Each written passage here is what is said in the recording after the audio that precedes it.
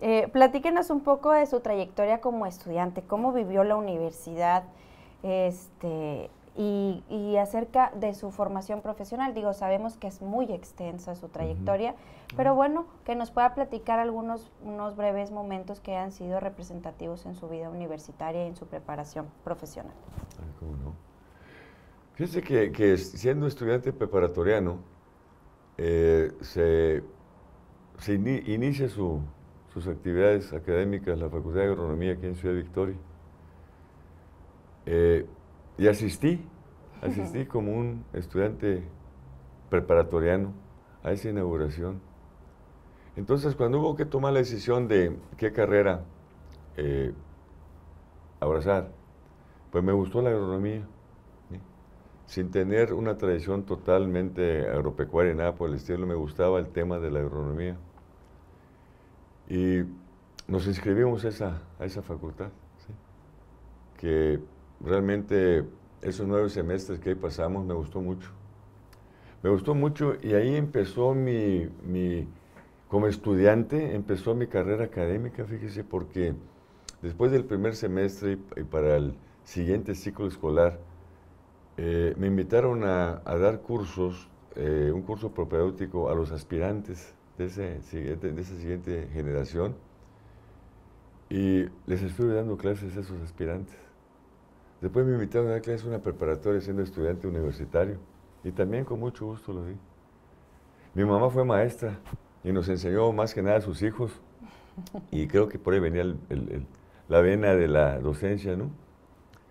Entonces, al, pues como estudiante, pues eh, dándole con ganas y duro a las clases, eh, al término de la carrera, poco antes de, de finalizar, hubo la oportunidad de formar parte de un programa de formación de profesores para las ciencias agropecuarias.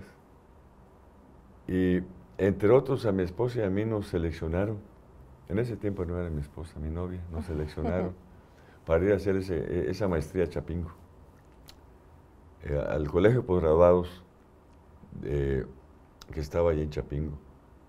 Y nos animamos y nos decidimos porque a la vez la aceptación en el colegio de posgraduados la aceptación también del CONACIT, con una beca completa para ir a estudiar y con el apoyo también de la universidad, becándonos para hacer la maestría, nos dispusimos sin pensarlo mucho a irnos a estudiar, con el único compromiso previo de casarnos. claro, claro, si se van a vivir juntos, Fue padre. Tengo muy gratos recuerdos de mi época de estudiante en la, universidad, en la Facultad de Agronomía particularmente. Me tocó ese momento como nos tocó a, los que en ese momento estábamos en la universidad de verla crecer. Nace la Facultad de Agronomía, la Facultad de Comercio, la Facultad de Leyes incorpora la UAT, ¿sí? Empiezan a crecer y a, aparecer en el centro universitario otras facultades. Como, aunque ya existía como Trabajo Social, llega a la Facultad de Trabajo Social, a sus propias instalaciones en el centro universitario y también inicia eh, actividades la actual eh, Unidad Académica de Ciencias de la Educación, ¿sí? empieza y se instala ahí en la universidad, en el actual centro universitario. Nos tocó también en esos momentos ver construir el, el estadio universitario, el estadio universitario, ¿sí?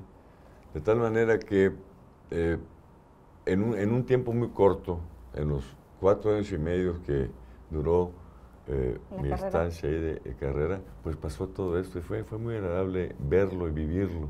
¿sí? Dos años después de estudiar al regresar, pues vimos cómo se iba consolidando las, eh, el Centro Universitario de Victoria. Crecía, más instalaciones, más escuelas, más carreras. Entonces fue una, una época muy interesante vivirla y de inmediatamente de estudiante, ¿sí? ir, a, ir a hacer el posgrado y regresar como profesor. Fue un crecimiento rápido. Fue muy rápido porque desde que, desde, que daba, desde que estaba estudiando ya daba clases, ya formaba a, los alumnos principales. Fíjese que sí. Y luego, y luego al regresar, después de dos años haciendo el posgrado, al poco tiempo eh, fui invitado a, como secretario académico ahí en la Facultad de Agronomía ¿sí? Entonces también eh, pues eh, muy pronto teniendo también una actividad administrativa y, de gran responsabilidad. de estar teniendo todo el control escolar y académico de la facultad. En la universidad se habla mucho de los valores. ¿Cuáles son los valores que rigen la vida de José Suárez? Ah, los valores. Sí, yo creo que toda persona tiene que tener una serie de valores que, le, que siguen su vida, ¿no? Y que la definen, ¿sí? Y yo creo que tengo uno de los valores, considero como valores como tal, es, la honestidad, ¿sí? En todo sentido, ¿no? No, no, la honestidad solo desde el punto de vista, eh, a lo mejor, económico. La honestidad en, el, ser, en el hacer las cosas. Honestamente, con, con pasión, ¿sí? Eh, creo también mucho en el tema de que hay que ser sincero, hay que hablar con la verdad y tener la verdad como, como una guía diaria, ¿no? Con verdad. Y pueden darse las cosas, ¿no? Bueno, eh, no sé si sea un, un, un valor, eh, pero creo que también la parte esta de crecer espiritualmente es importante.